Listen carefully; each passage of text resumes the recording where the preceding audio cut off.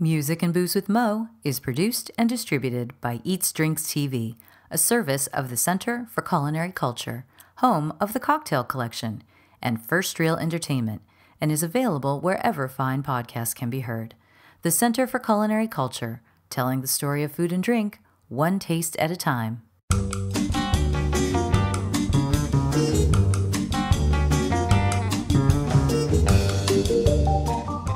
Welcome to Music and Booze with Mo. I'm Mo Herms, and I've worked in the music industry most of my life, so have met some pretty amazing musicians over the years. I also love a good cocktail, and I've encountered some really interesting bartenders as well. It seems that there's a lot of crossover, so when I can, I like to talk to musicians and bartenders about music and booze. Join us at the bar, won't you?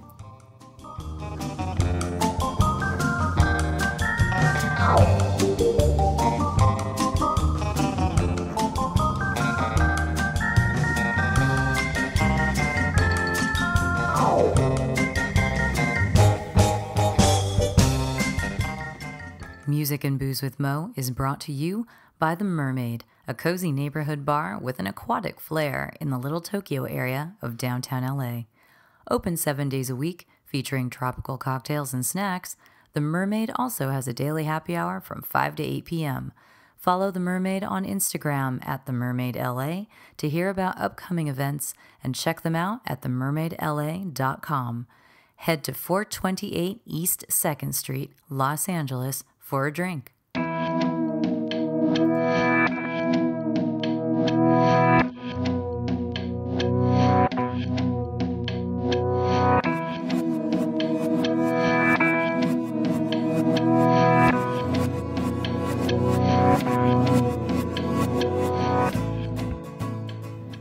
We are back in Birmingham, Alabama to talk with Feizal Valli, who was the co proprietor of the Atomic Lounge.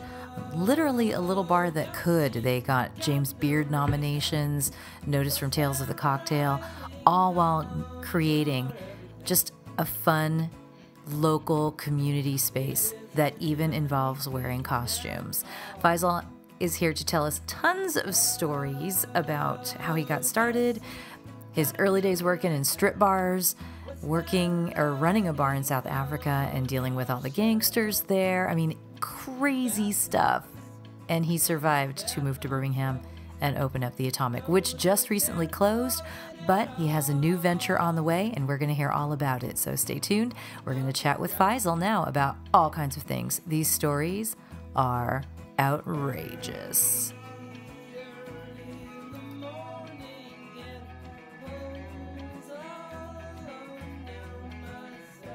Introduce yourself before we get too carried away. okay. Um, I guess my name is Feizal Valli. Um, I guess I want to say I'm a bar owner um, in, Birmingham, in Birmingham, Alabama. Mm-hmm. But you have a long history doing bar stuff. We were talking about it before. When did you start bartending? What was your this, first bartending gig?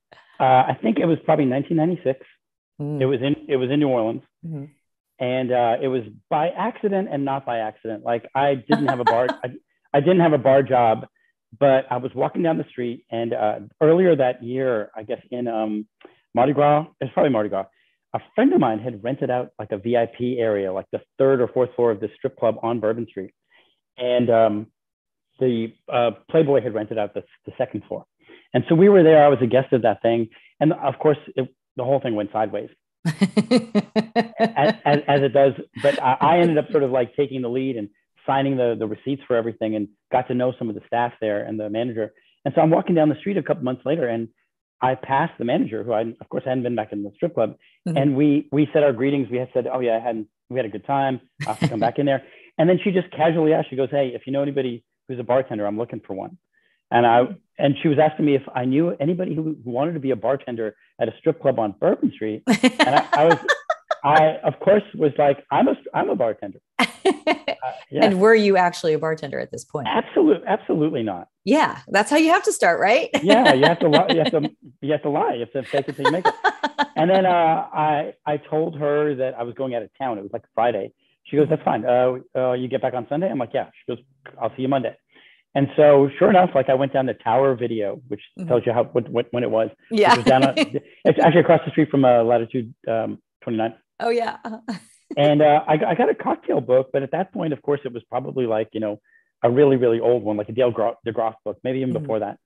And um, I looked through it, and when I got there, you know, I was just my heart was beating so fast because I was lying, and I was like, "Am I? Gonna, are they going to discover me?"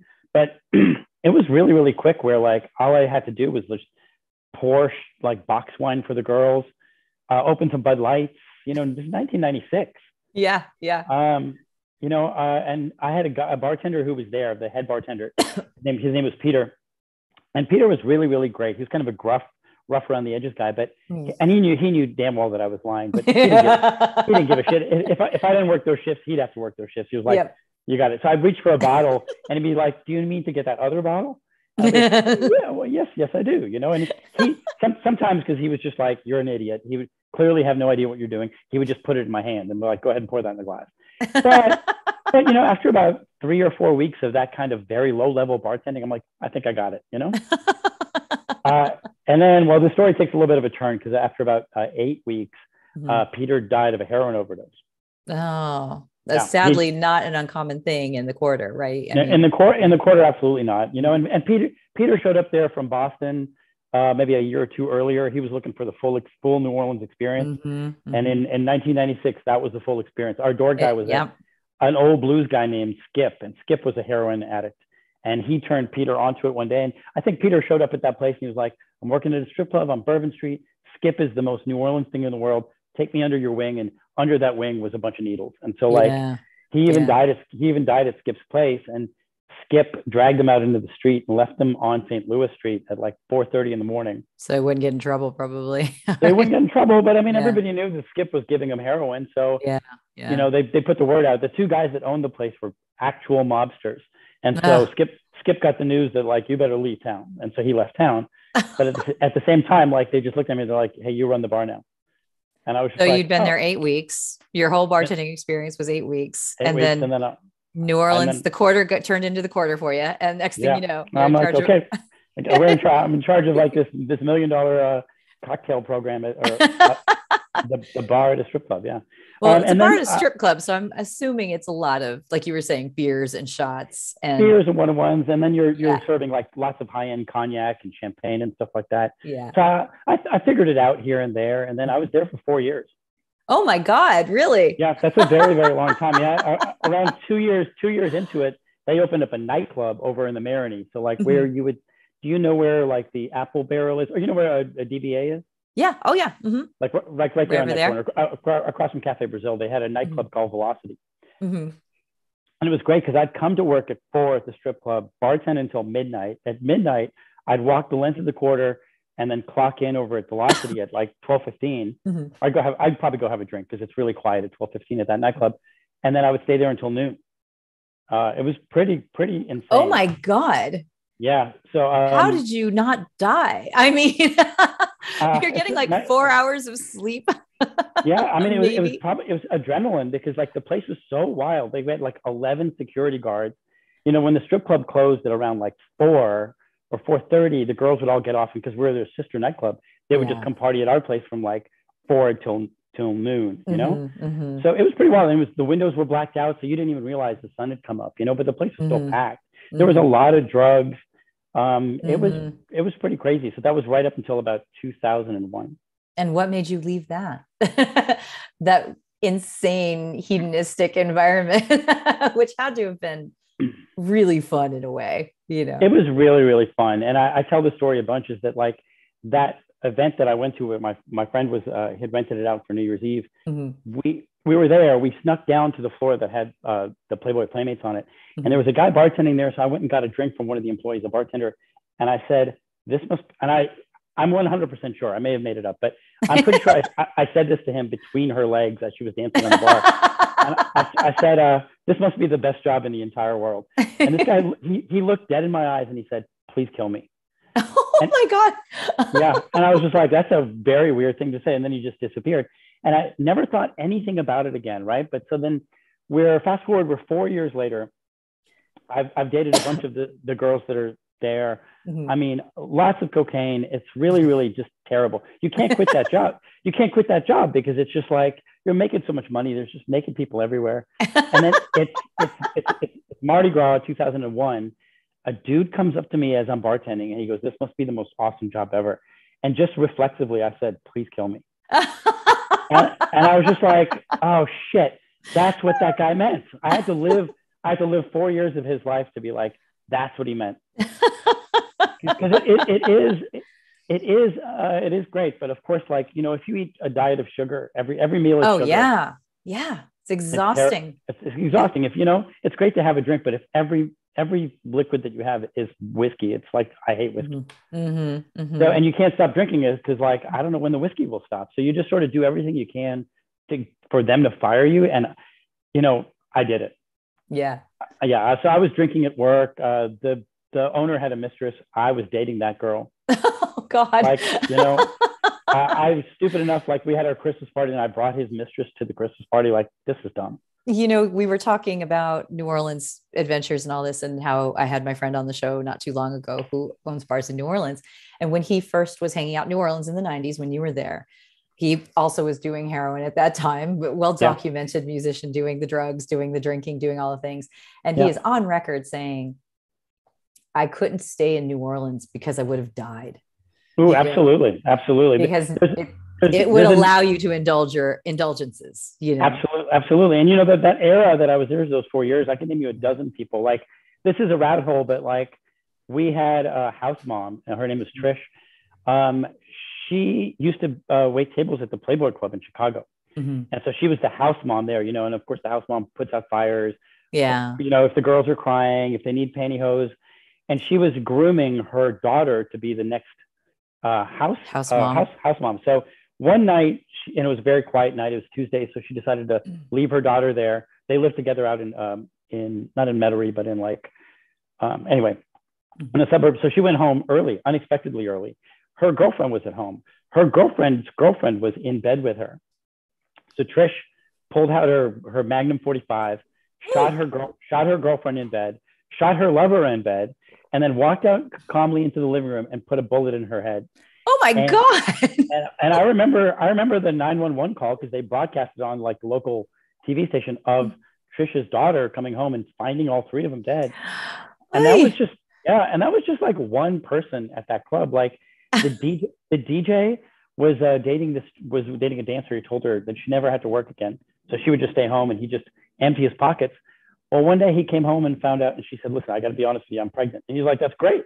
Let's get married." and he's like, "Not so fast. Um, the I'm not pregnant with your.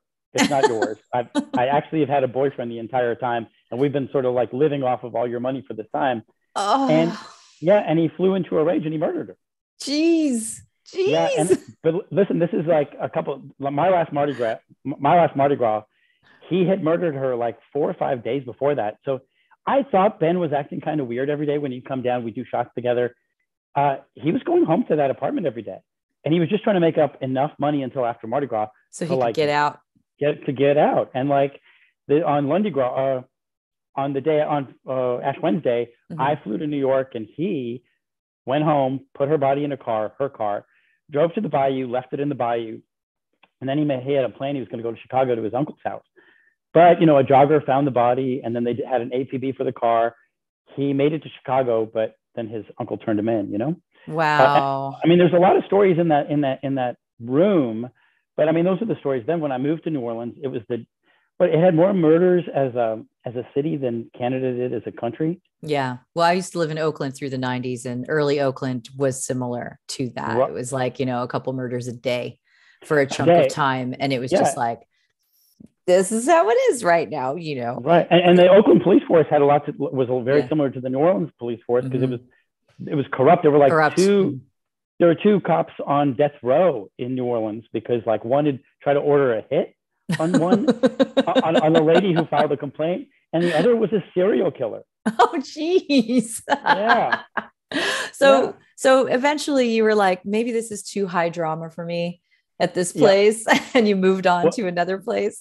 well, you know, I don't think you're I don't think you're gonna like the answer to that because uh, right did there the place the, shut down. No, well eventually, you know, it did shut down. They shut it down because of prostitution in 2015. But I mean, that's probably nine years too late. um, well, what happened was around the tail end of my time at that strip club, I had connected with an old girlfriend of mine who lived in Cape Town, South Africa. Hmm. And so I went to visit her and I could not believe it because like their economy had collapsed, but everything else was working fine. Like the bars were amazing, the restaurants were amazing. It was a beautiful place. The people were amazing. Mm-hmm. So like a beer was like 11 cents. I think a steak was a buck. Mm-hmm. So I had thought about, I had saved up a bunch of money to open up a bar, but I didn't have nearly enough to do it in, in New Orleans, let alone America. So I'm like, mm-hmm. you know mm-hmm. what? I'm going to move to Cape Town. And I went ahead and packed up all my things uh, as soon as I got fired from that, from that job and, and, and, and, moved to Cape Town uh, with just like a bag full of my clothes, uh, maybe $20,000 in the bank.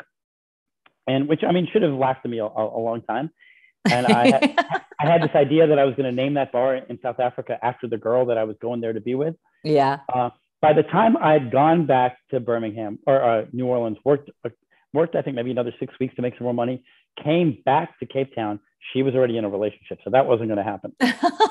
I'm like, shit, I, am I'm, I'm already here, and I've already burned all my bridges in, in New Orleans, so I guess I'm opening up a bar, and I didn't really know what that meant. So like, I just sort of walked the streets of Cape Town, and I found like their busiest street, their Bourbon Street, and they, right in the middle of their Bourbon Street was a, a for lease sign. So I, I called the for lease sign.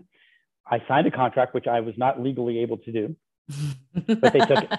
They took it. I had cash, uh, and then I started like uh, getting equipment, and I bought some equipment, and then I built a bar, and I started painting the walls. Um, a guy from the bar down the street that was the most popular bar by far in Cape Town, he knocked on my door. He's like, "Are you opening up a bar?" And I said, "Yes." He goes, "I would like to come work there." And it turns out he was the bar manager at this bar, but he was also a junkie. So he got fired because he was a junkie. um, but I didn't really care. So I'm like, yeah. okay, well, that's, that's fine. You already and had plenty the, of experience working with that kind of community. Yeah, so. I'm like, yeah, this is a, a lateral move. I'm fine. Yeah. um, he was really funny because like randomly on days he'd come to work and he'd be in blackface. He had a really? he had a beard. He had a beard one day. He came into work and then he goes, uh, "Will you watch the bar for a second? I'm going to go to the bathroom." He went to the bathroom. He shaved a Hitler mustache into his face. What? He was really just so crazy. He was such a bizarre dude. You know, like he would wear clown makeup to work one day. Like he would not he'd not wear a shirt. One day he just wore a dress, and it was just like. But he was like the most popular guy in town, so it didn't really hurt to have him there. you know, and also and also so like it comes to the time where I'm opening, and I get to figure out that like I'm never going to get a liquor license. I don't even have a business permit. My tourist visa expired months ago. And so I basically, I didn't have a tour. I, I was on an expired tourist visa. I had no liquor license. I had no business permit. The strange thing is that the liquor laws there, if you did have a, a, a business permit or a liquor license, you bought your liquor from the same place Joe Schmo does. You just really? To, yeah, you just have, it's a warehouse. Everybody buys it from the same spot. It just happens at, at checkout. You maybe show your liquor license and they don't charge you tax. Mm-hmm. So, so I'm like, okay, well, I'll just, I'll, I'll, you know, I was buying like, like wheelbarrows full of stuff and they didn't say anything.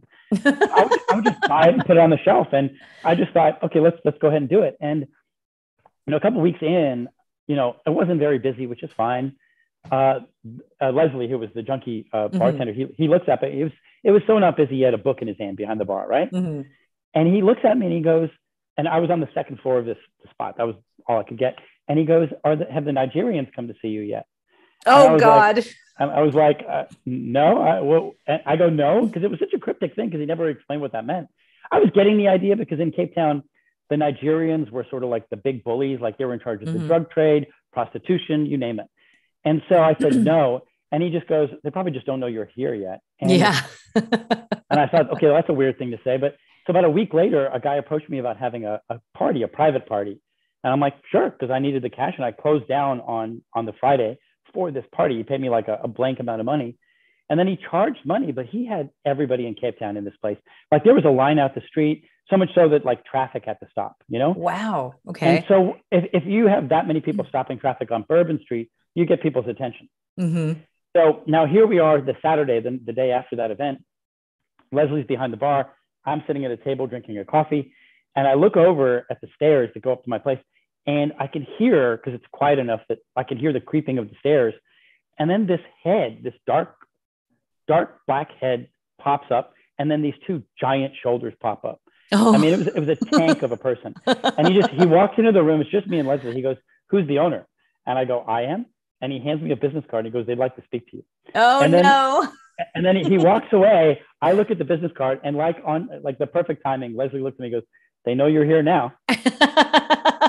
and I'm like, I'm like that's so weird. And uh, I and I must have been the stupidest person on earth because that next day or the Monday, I go down to this. They have a, they have an office. They have a name. They're called Pro Access Pro Access Security. I go I go I go into like the ninth floor of this office building, and in this room, I tell them who I am. They go, yeah, right here. There's an office space, right? And mm-hmm. you know, like those old um, uh, uh, Public Enemy shows where they have the Nation of Islam up there or the Black mm-hmm. Panthers, mm-hmm. just standing there quietly, like silently, like very mm-hmm. menacingly. So in the room are like six of these giant like obelisks of these men, and there's this white big obelisk of a, a South African guy with a thick South African accent. He tells me how dangerous Cape Town is. He goes, you know, for a stranger like you, it's a very dangerous place. You never know what could happen. It's very unpredictable. And I really, I was so stupid. I just wasn't understanding that he was threatening me and he was telling yeah. me that he's the danger. Yes. so fucking naive, you know? and I, like an idiot, after he gave me a spiel, I told him, like, listen, and I was looking at the money that I had in my head. I'm like, it's, it's, I only have this much money left in my stash. Mm-hmm. And I said, and I said to him, I'm like, listen, I don't think I need your services. I think I'm a simple little thing. Nobody's going to fuck with me. It's fine. And I shook his hand and I left. And in my mind, I guess when I left, those guys probably just silently looked at each other like, what the fuck was that? uh, a, a, couple a couple days later, like so, you come up the stairs to my place. The bar is here, the balcony's there, and in the back I had a pool room. And on like Wednesday or Thursday, that white guy and one giant black guy showed up to make a house call, which I'm sure he doesn't make house calls, mm-hmm, but he, I'm mm-hmm. sure he was tired of killing people, you know. and, and, and, he goes, he goes, he goes, Feizal, is there is there some place we can talk? And still to this moment, I don't get the the the weight of what's happening. And I go, yeah, sure. There's a room in the back. It's got a pool table. Let me see if I can kick those guys out. So they follow me in the back, and I start walking there, and these two locals are playing pool. The one guy, he's taking a shot. He looks up from his pool cue. He sees me, but more importantly, he looks over my shoulder. He sees those he's two. that dudes. guy. Mm-hmm. And before I can say a word, he puts down his pool cue, and him and his buddy quietly walk the fuck out of that room. and I'm like, I'm like, what? A, I'm like, what a weird way to make an exit from this room. And then I, I, I turn around to talk to these two guys, and like a light bulb came on. I'm like, oh fuck, these guys are actual fucking dangerous people. Yes. and like before before he could open up his fucking uh, mouth to, to, explain to me how he, he didn't want to murder me, I'm like, you know what? I, am glad you guys came down here. Let's do this. You name your price. Let's do it. and so it really, he, he goes, I think that I think you made a wise choice, and he left. Yeah. And sure enough, like you know, the, the first of every month, a guy would come down, a giant guy would come down. I put some money in an envelope, and he'd fuck off. But the really great thing about it is that because I was paying the mob, mm-hmm. I never had to get a liquor license. I never no. had to get. I never had to get a.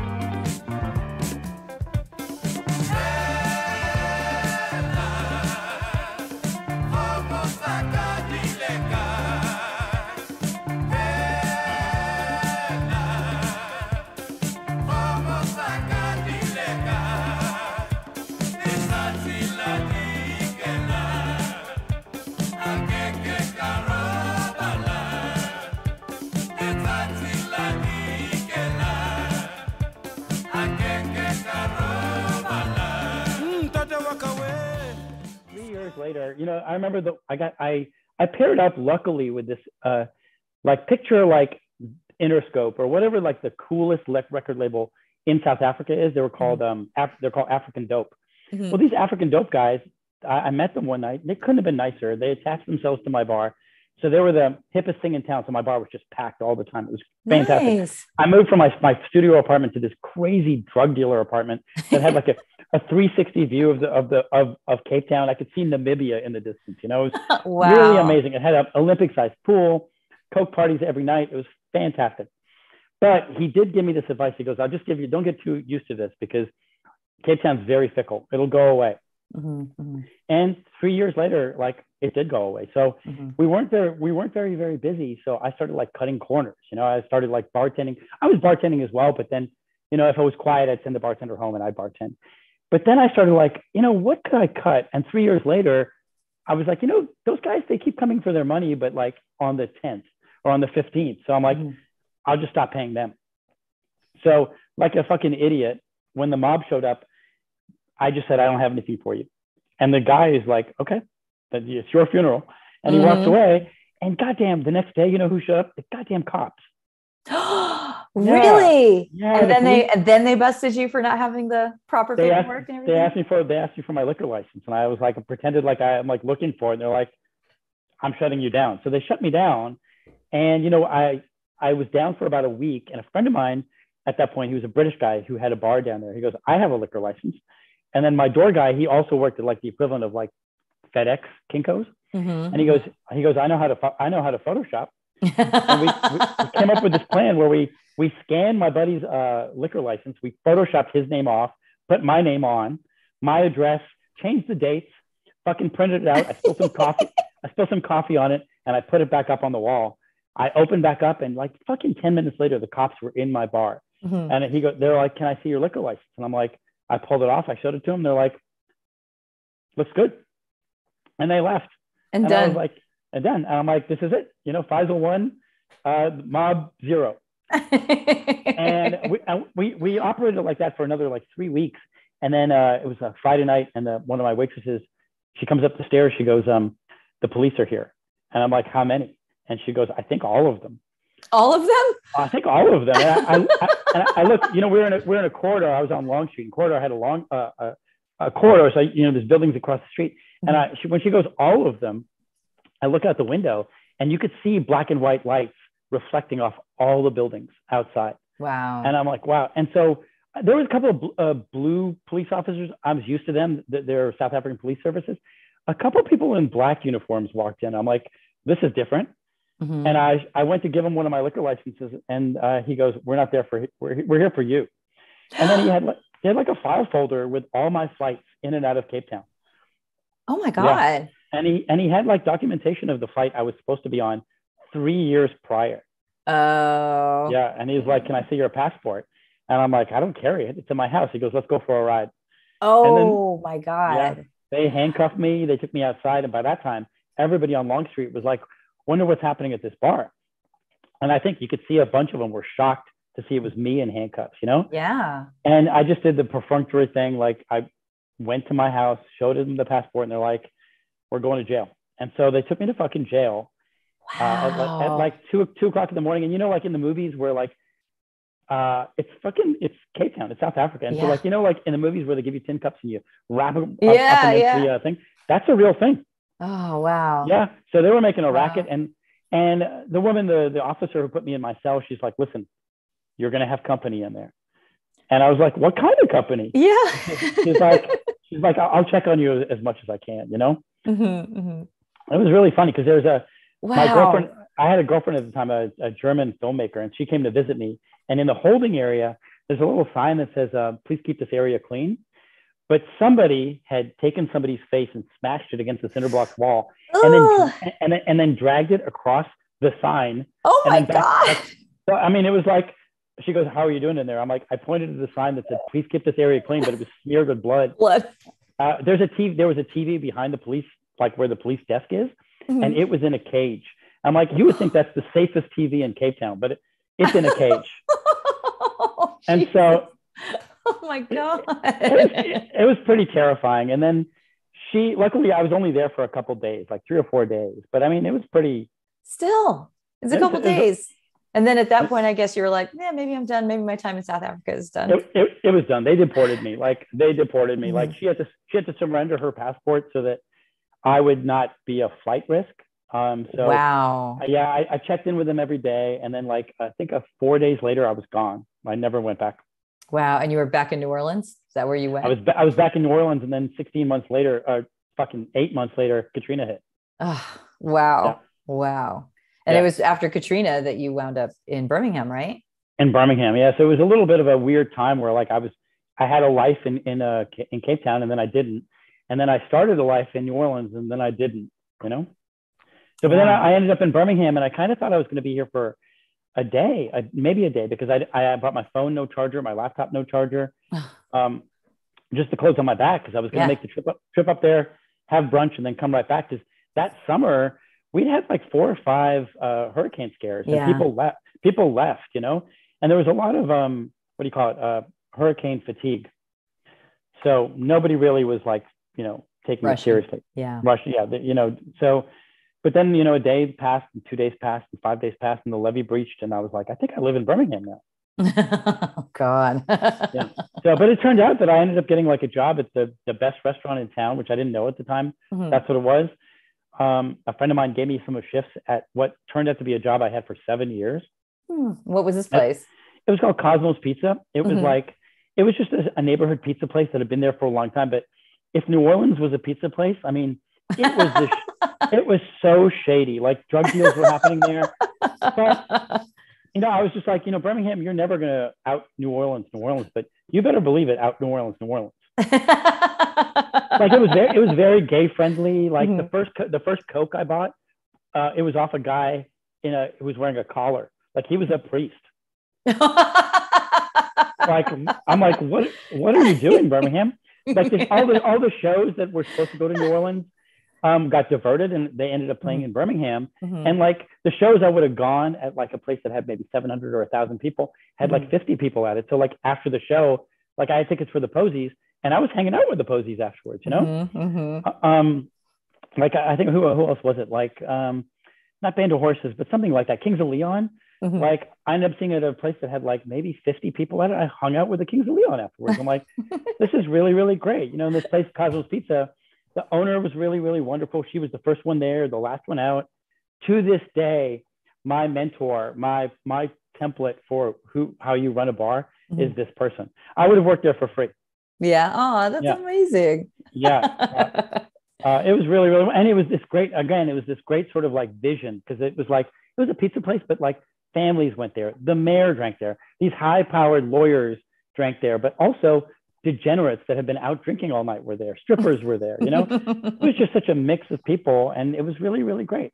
That's awesome. And so I'm assuming they had a bar there that you were sort of. They running, had so. they had this the most bullshit bar you've ever seen in your entire life. Like it was a little tiny hole. The ice ice well was a little tiny hole on the on the back of it. Everything was poured out of handles. You know, it was just mimosas and what we call. I think at the time and for years, I mean, it only changed recently. Uh, you couldn't drink alcohol until after noon on Sunday. Mm. So of course the kitchen opened at 11 at mm-hmm. 11. So uh, we'd be pouring people like mimosas and whiskey and cokes and Bloody Marys in styrofoam cups because mm-hmm. mm-hmm. that was your your coffee, you know. Mm-hmm. and so in a way, it was this un, un, unspoken rule all through Birmingham that if you wanted to drink, you'd go there, you know. It was. well, um, okay. You eventually opened up your own place, though. You opened up Atomic Lounge, and this I did place. Eventually, but this place became like I think that when when Tales started doing the regional nominations, bam, you were right in there. It started getting recognition all over the place. Yeah, we well, I so, mean we had a regional nomination for Tales, and like the region wasn't the South. I mean, for um for Tales, they go north south. So our mm-hmm. region included Chicago. Yeah. So so tell me that story about how how you finally were able to open a bar and sounds like it's a legit bar. it, it, had a business permit, yeah, liquor license and everything, yeah. In the states, you know, you got you yeah. finally got to do it. It was like all of this crazy experience that you've had in other yeah. parts of the world, other parts of the country, finally coalesced into this place that was much beloved. Yeah, and- yeah, it was really, really lucky. It, I, I sort of like laddered my way up there. Of course, like I got behind a real bar at a restaurant, and they let me run their cocktail program. And this mm-hmm. is like 2000. Uh, 2000 and I don't know, let's call it 8 mm-hmm. uh, I, I, entered a cocktail competition and won it. Ended up going to Vegas. Ended up getting my ass kicked. Mm-hmm. Um, I never, never, never did another competition again. But then that led me to another like high-end cocktail place. And then there was a local guy who was trying to open up his own bar. He had no experience in the business, so he hired me. And he had a designer and a, and a, and a builder, but they fell through. So instead of just being the bar manager, I also designed that bar. Mm-hmm. Um, after about, and you know, we opened, and of course, we became uh, the number one bar in Birmingham. Uh, we ended up getting put on a list of the best bars in the world. Oh wow! So, yeah, it's and what crazy. was that bar? It was called the Collins Bar. The guy that owned yes. it was a guy named yeah. Collins Bar. I've heard of the Collins Bar. Yeah. Yeah. So I built and designed that, and after about three years, I'm like, well, I built and designed this. You know, I, I I'm part of the playlist. I made all the, I hired all the people here. I built everything, but I don't own it. And that that that's a hollow feeling that's really hard to wrap your head around. You know. Mm-hmm, mm-hmm. So I, I left there so I could open up my own place. And that was kind of a big risk. But again, you know, I opened this place and uh, I used my life savings for it. The day I bought my liquor, the bank account was $0.0. Oh. yeah, just terrifying. Yeah. And on, on the Friday when we opened up, uh, there a little bit of momentum was built up. So there was some press, which was great. Um, coming you know, coming off the heat of say the Collins Bar, mm-hmm. and there was a line down the street. So like we opened the door at four, and at four fifteen, every seat was full. Oh wow! Um, at midnight, I dropped. I poured my last drop of alcohol.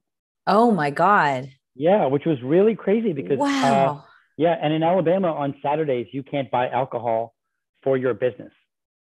Oh shit! yeah. They, and, and, they tell you when you get your liquor license, it is ille- it's illegal for you to buy your alcohol. You have to get it through the, the wholesale department, right? Mm-hmm, mm-hmm. If you buy even one bottle, you're in trouble. It's a five hundred dollar yeah. fine. Yeah.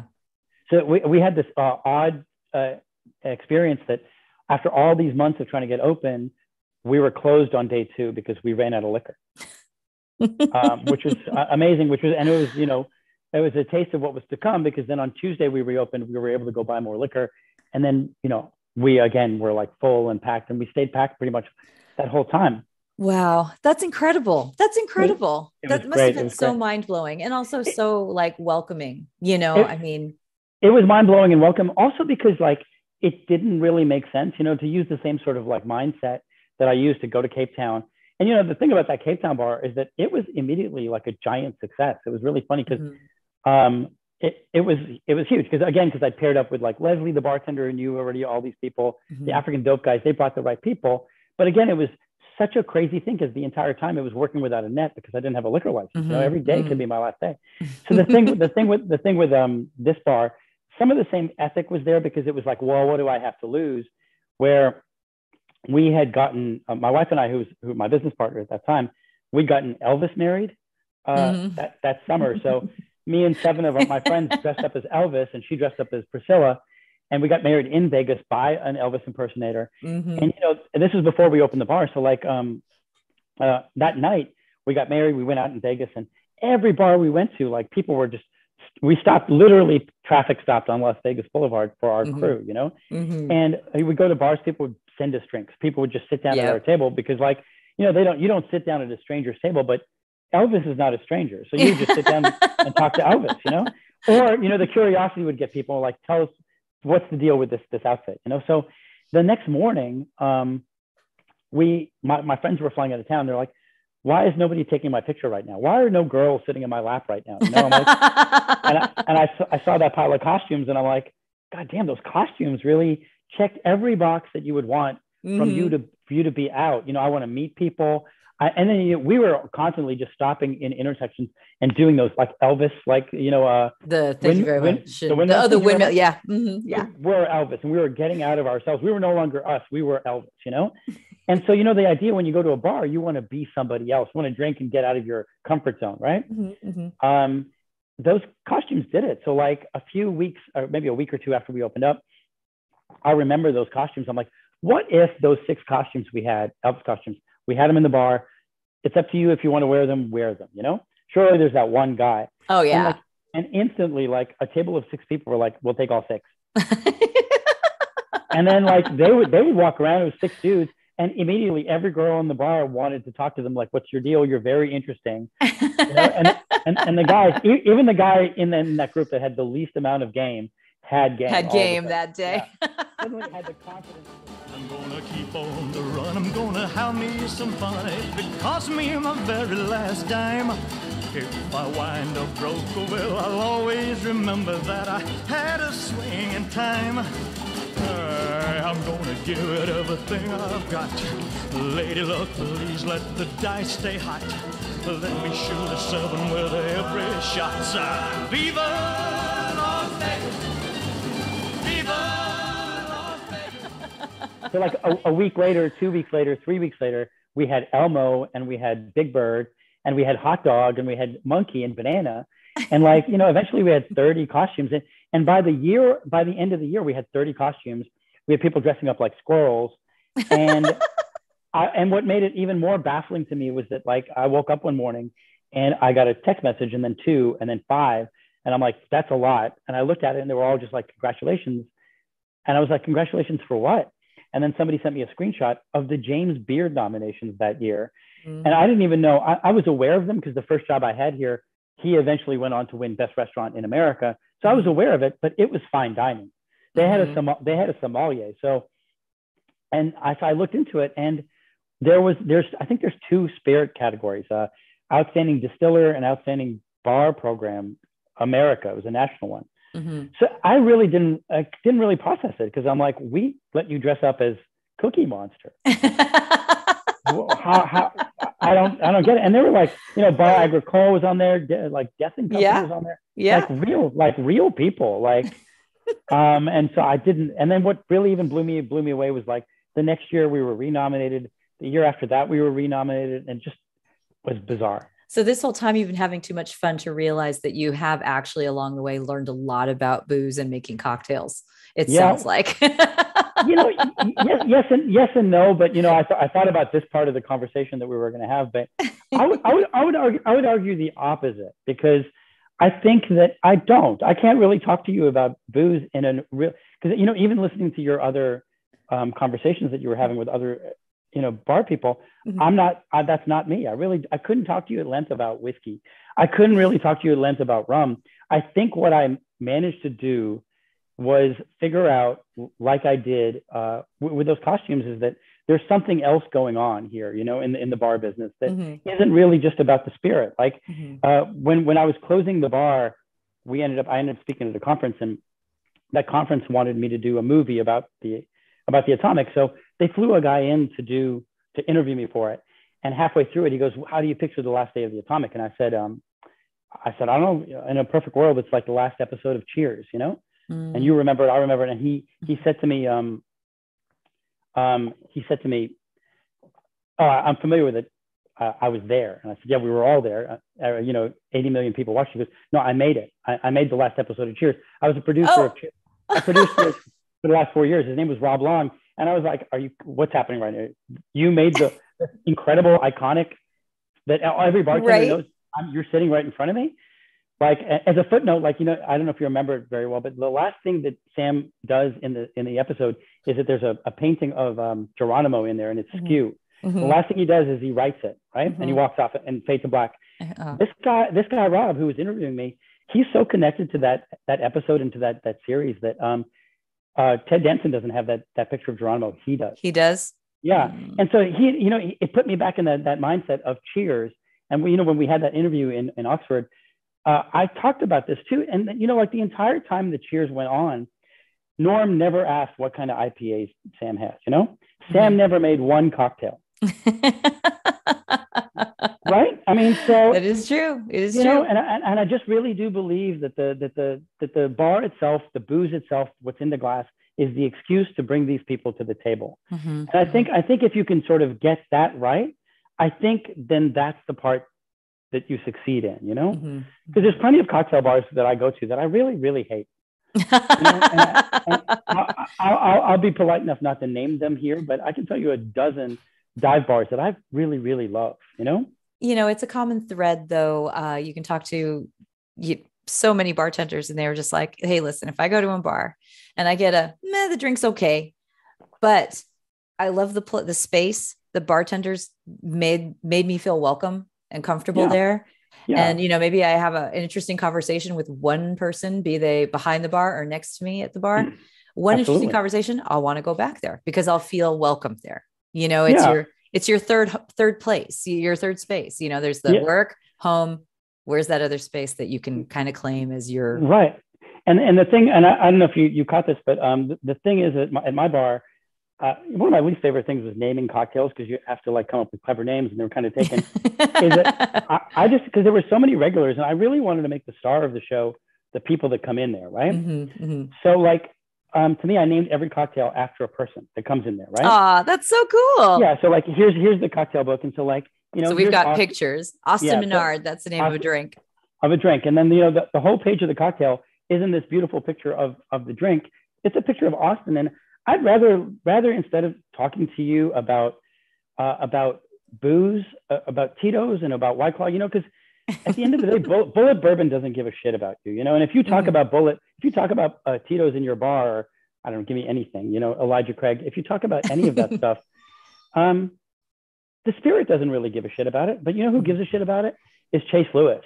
And if you drink a Chase Lewis, and Chase Lewis is there, And you should see people's eyes light up when they're drinking a Chase Lewis and Chase Lewis is there. And Chase Lewis brought them their drinks. And like, even like when you're not there, when, when let's say like uh, Elliot Potter is not there, but Elliot, he, he works in town and he's not there. But you know, if his friends are in my bar and they drink an Elliot Potter, you better believe they're going to send a text message. Totally. To I'm drinking your. I'm, I'm having your, your drink. drink. Yeah. I'm having your drink. You know, like, and wherever he is, even if he's in bed, it just sort of makes them feel like I am a part of something. You know, and yeah. I think at the end, end of the day, a bar is successful if it makes you feel like you can walk in like Norm and say, "Hey, Sam, I'm I'm here." You know, mm-hmm. and that's why that's why I would argue against the idea that I learned something along the way about booze. I did not.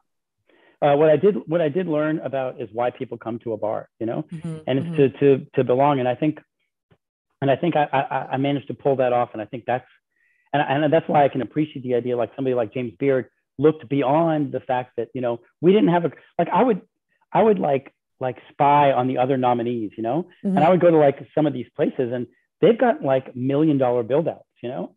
Um, everything in my place is DIY. Some of the tables are duct taped you know and I, you know there was there was one that was a speakeasy that had something like you know 900 bottles of whiskey mm-hmm. and i don't have those especially being in alabama i'm lucky if i can get jägermeister you know uh, cognac has disappeared um, yeah. so yeah. so like I, I really do appreciate that places like that people like that looked beyond those sort of you know easy check check boxes and we're like you know there's something else going on here you know mm-hmm, mm-hmm. and well, I, gonna... I think no, I was just going to say, I, go ahead.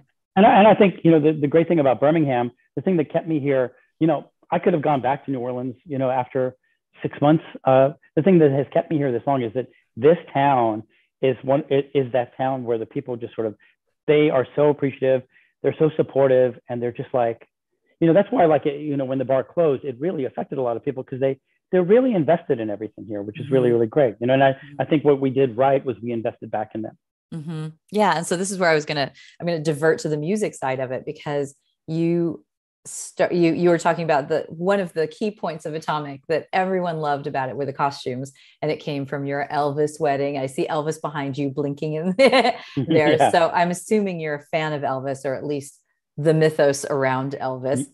So, c- considering how much care and love you have for the community and all this, what was your music like? Did you put the playlist together too? Because you sent me a yeah. hell of an amazing playlist. Yeah, I, I love your playlist. and it's, kind of all it's kind of all over the place because you mm-hmm. know the, the the bar itself is all one all over the place. 2 mm-hmm. it's a very very diverse bar, so it, it attracts like people in their 80s and people that are like 21, 21st mm-hmm. birthdays. Mm-hmm. It attracts like uh, African American uh, people and and then it's students and then it's also like um, hipsters and it's like mom and dad who have like the babysitter, right? So mm-hmm, mm-hmm. because it's it's so varied, there's a thread that you can put together for everybody. You know, there that, that's the thing is that like the bar interacted with people not by their booze because the, the person that drinks like White Claw and and Tito's and tonics uh, are is different than the person that, that drinks uh, whiskey on the rocks, right? Mm-hmm, mm-hmm. So uh, Manhattan. So they're very different, but and so you won't find any common ground like that. But so you, we were trying to find things that like uh, that that lined up with everybody. So, and of course, the the course of the night changes, right? So your mm-hmm, 4 mm-hmm. o'clock playlist is very different than your midnight playlist. Yeah. You know? um, and uh, the vibe of the, the place, you know, I, I love.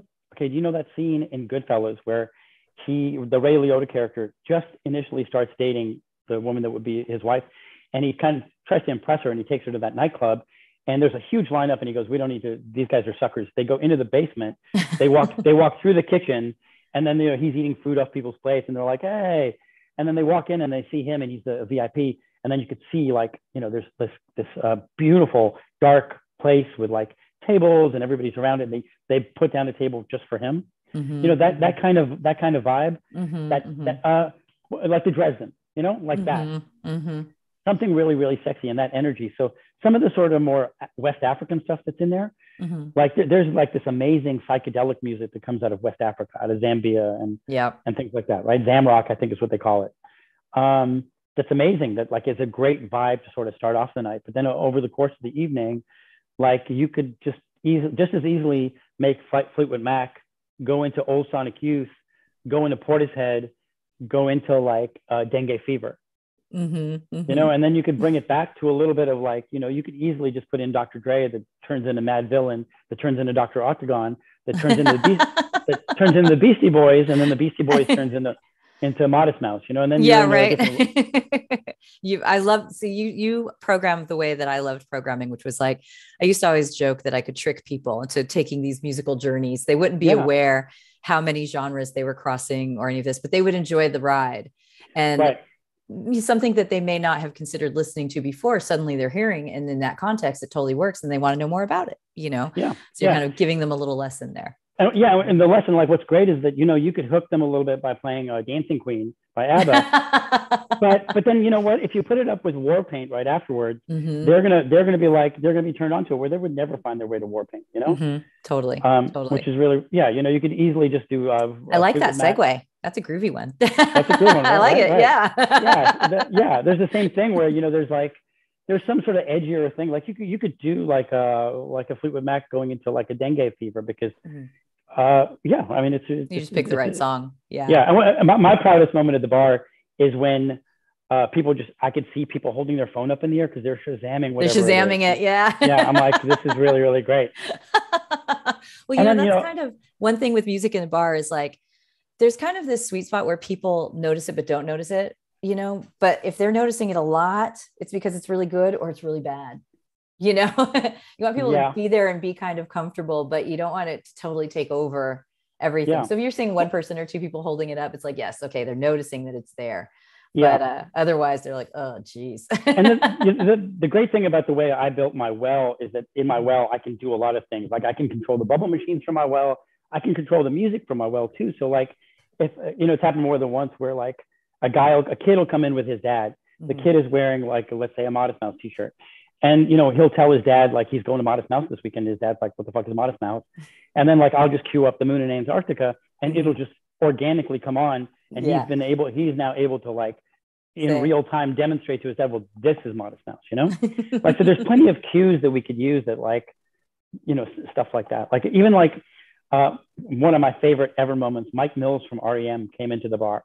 Ooh, oh, yeah. wow. Yeah, wow. I'm a I'm a giant REM fan. Like literally, when I was like in college, me and my buddies got drunk and we went to go get tattoos. And uh, I didn't know what I was going to get, but I'm drunk I'm going to get a tattoo. And uh, I'm like, I don't know. We were singing REM on the way here. I'm going to get REM tattooed. So I actually have an REM tattoo. What is it? Is it just REM or is it like part of one of the album? Says, REM? No, just it literally just says the letters REM. uh, um, and so like I, I, had, and so like one night it was like a Tuesday, and uh, a guy who came in, he was not a regular, but I knew who the guy was. He goes, "Hey, and it was empty in the bar. We were it was like 10 o'clock and yeah. it was a Tuesday. It was a Tuesday. And he goes, Do you mind if I get one of these booths? I have a VIP coming and um, he wants some privacy. Mm-hmm. I'm like, yeah, I mean, it's wide open. You can have it, but I mean, I know you, you you're my VIP. You can, of course you can have it. Mm-hmm. And just, I'm like, who's your VIP?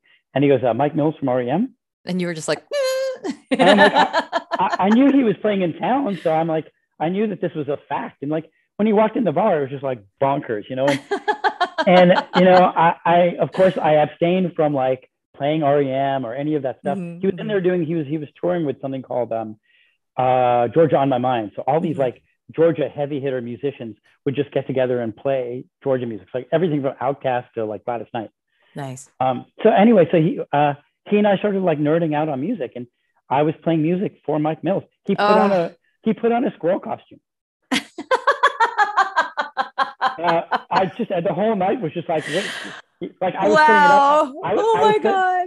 I was oh putting it away. God. I was putting it away, and it's a really it's a big costume. So he just he looks at me and he goes, Feizal, what is that? And you know, let's even put aside that he was he knew my name, pronounced it. I'm like, I, what are you talking about? Um, and I go, it's a squirrel. He goes, let me have that. And he, he fucking put it on. And then, um, and then like he, uh, oh my God. Yeah. And then, oh, I, that's I, so cool. Yeah. That's he was so, so he was so cool. And I was just like, Mike Mills, founding member of REM, uh, can you do me a favor? And he's like, depends. What is it? I go, will you come behind my bar and make me a drink at my bar? And he said, yeah. And so what did he make like, you? Listen, he, well, he was, he was nervous because he's just like, um, uh, I don't know. I'm not a very good bartender. And, uh, I said, I just drink whiskey and Coke. And he goes, okay. And he was a little bit disappointed that that's what I drank. He was like, he, he, goes, where's the Coke? I go, it's off the gun. And he goes, oh God, this is terrible. but but I mean, it, it was really really great, and, it, and you oh, know, like.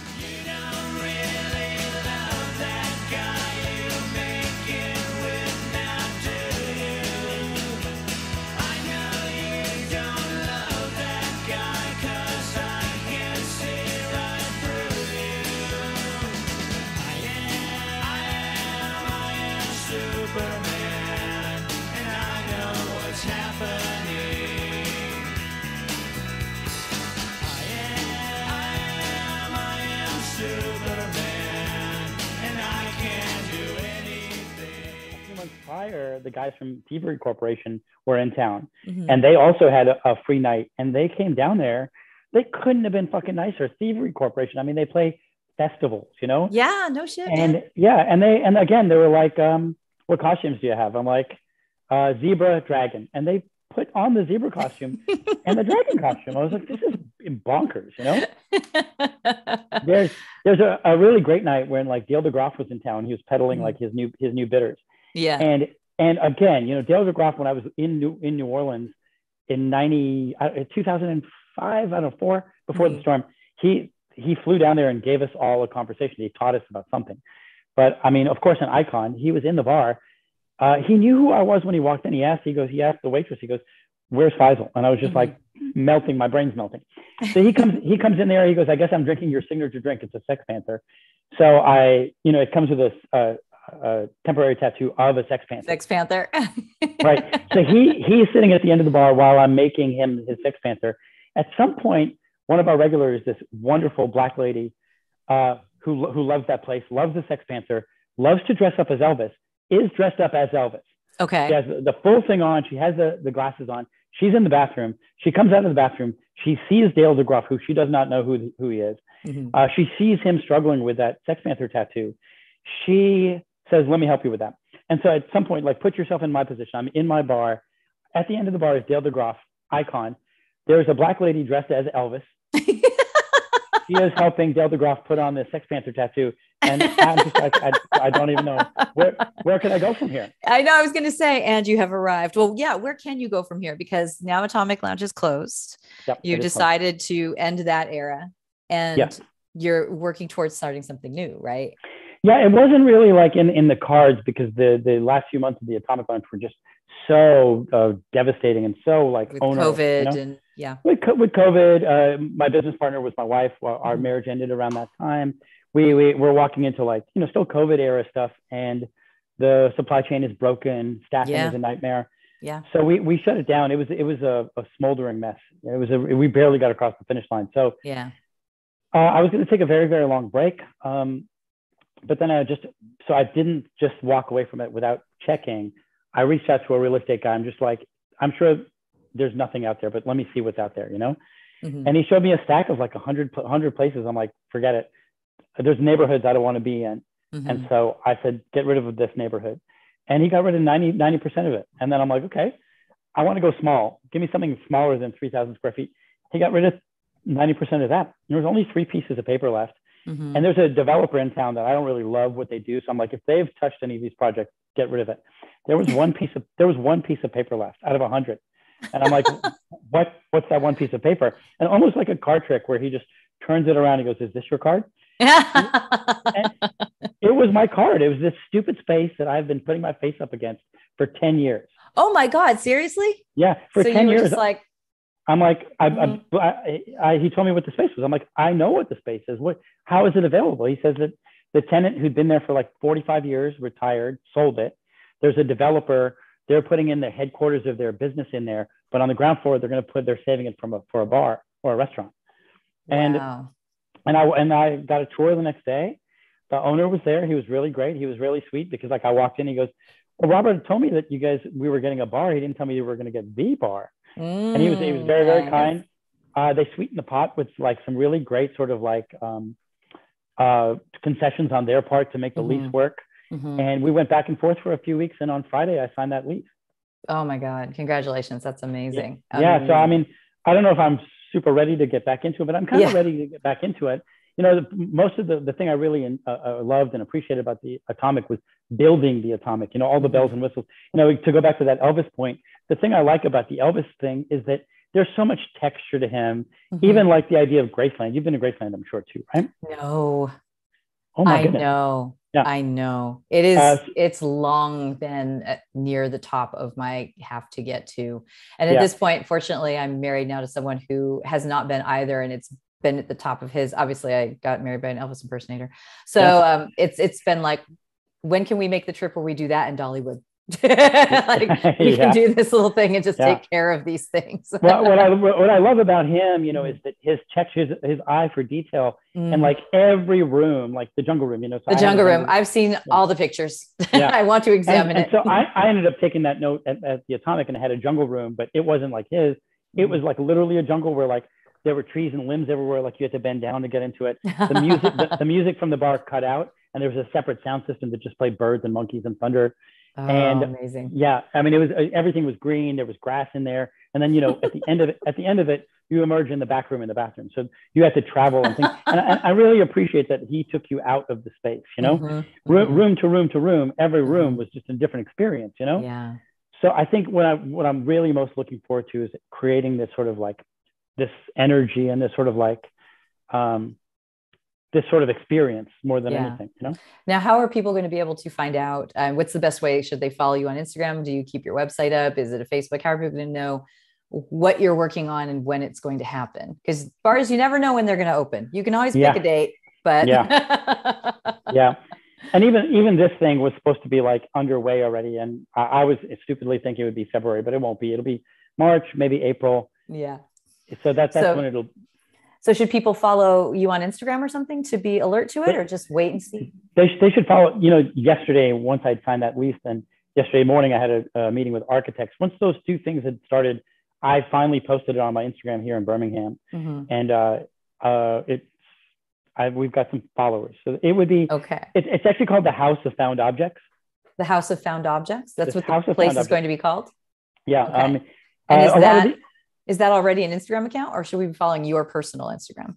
Uh, both. Um, okay. My my personal one has references to it, but then there is hashtag the House of Found Objects. Okay. Uh, what is, is your personal one? It's strangely enough, it's hashtag. It's at it's Feizal. At, it's at Feizal. You're the it's only Feizal. Feizal. I'm the. Only, It's crazy. You know, Faisal is a very popular name. I do not understand why I'm the only Feizal. Hey, own it.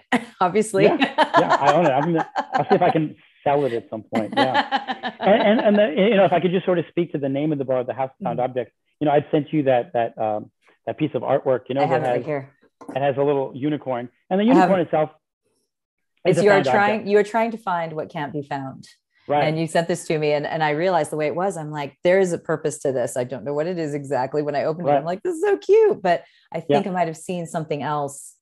Did you create this piece of art that you sent? This is the first time I've done a podcast where I've had like something sent to me like this. Yeah. It's so cool. Yeah. I love it. I, th- I, think I needed to have you have that in your hand so you could understand this, the whole thing about the atomic and this one. It's mm-hmm. sort of built around these ideas that like those are, that's the artwork I've been making for a long time. It's a found object thing where, you know, found objects kind of like the foundational found object art was by mm-hmm. Marcel Duchamp, right? Mm-hmm. Marcel Duchamp had, you know, the urinal that he turned on its side and now it's called fountain you know? Mm-hmm, mm-hmm. and it's the idea that an object that you understood as one thing once it's removed from its context takes on a different meaning right? Mm-hmm, mm-hmm, and so all the art that i make the art that was all over the atomic and the art the foundational part of found objects is found object art. And in a lot of ways when you think about those things a person when they walk into a bar they're a found object you know? Because mm-hmm. in a way we don't know who they are. We don't have any we don't have any context for them. Mm-hmm. And once you, in a, in, a, in a way, that's the best thing about a bar is that we're able to remove our context. You know, we're not like a mom, we're not a divorced dad, we're not like an alcoholic, we're just a person. And we get to sort of define that person mm-hmm. for the first time, you know? Mm-hmm. Um, very famously, like uh, a couple of Halloweens ago, we were cleaning up after Halloween and somebody presented to me this uh, like 20 inch plastic skeleton arm. And they just gave it to me. I said, I wonder what this was. And then I just happened to be making a drink. It was in my hand. It mm-hmm. balanced perfectly. The little femur bone was mm-hmm. it stirred really great. Mm-hmm. I'm like, I don't know what this did before, but this is what it does now. Yeah. and, and removed from its context, it, uh, it can be anything, right? So like mm-hmm. a few months later, it got stolen. Somebody just uh-huh. saw it there and they, they took it, right? Mm-hmm. And I'm like, how would I ever find this again? So I typed in, you know, skeleton arm something something, and it came up, and there there's two of them, and it says uh, Halloween dinner party salad tong set. and so, if at a Halloween party you have a sit down dinner that has a salad course, these are the tongs that you use for those six six minutes.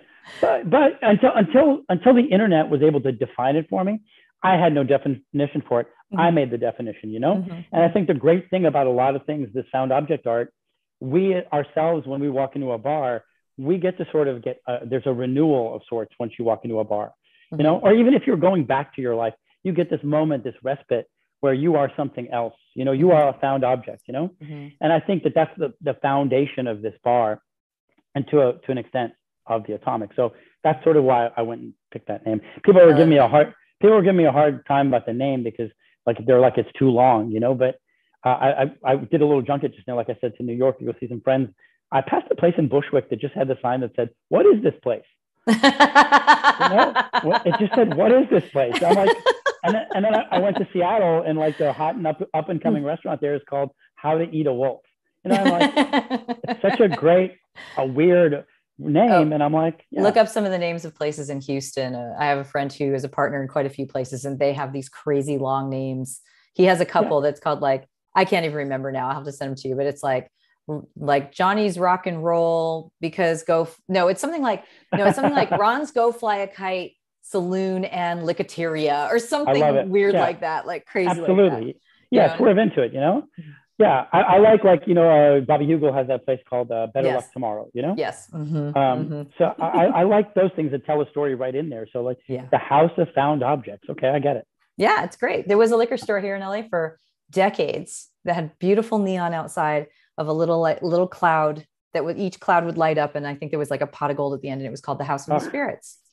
You know amazing it was like Amazing. a short yeah it was really nice. Okay well i should wrap this up. I got to get back to work. You probably don't but we've had a, an hour of amazing oh, wow, amazing yeah. stories and i so appreciate hearing all of that. I know i need to get to birmingham. I need to be traveling again honestly. You do you do but put off your birmingham until like summer so i can be open so you'll be open okay that's yeah. easy enough because i got a lot of work coming up okay but sure. don't jump off it thank you so much for doing this i really appreciate you like making the time to chat and tell us yeah. these wonderful stories. I love yeah, it. Yeah, it's my pleasure. Yeah, thanks. Thank you.